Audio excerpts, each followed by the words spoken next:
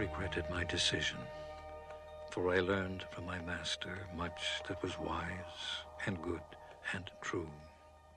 When at last we parted company, he presented me with his eyeglasses. I was still young, he said, but someday they would serve me well. And in fact, I am wearing them now on my nose as I write these lines.